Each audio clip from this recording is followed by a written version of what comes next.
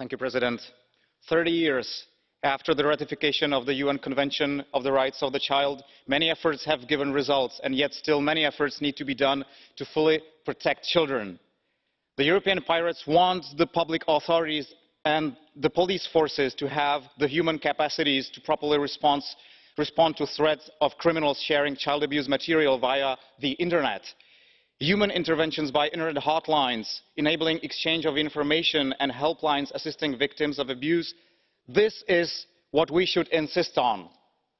Calling on private companies to monitor the entire internet in order to make sure that nobody is sending wrong images is, however, not the way forward.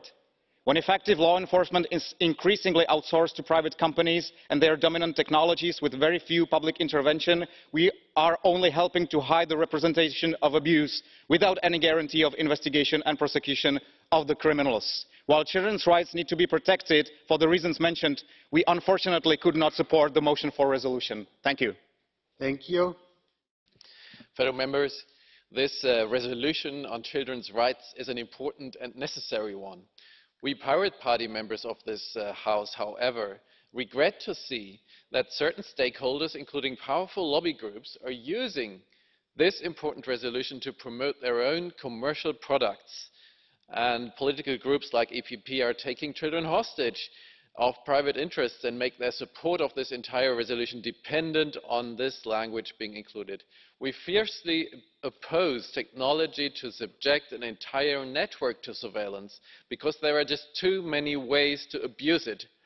the resolution also grossly misrepresents the findings of a quoted study. internet service providers are increasingly using filters to detect and report the unlawful distribution of child sexual abuse material but there is no evidence that the total number of such images reported or unreported are actually increasing. so for these reasons the pirate delegation regrets that we cannot support the resolution due to paragraph sixteen and recital o and we abstained.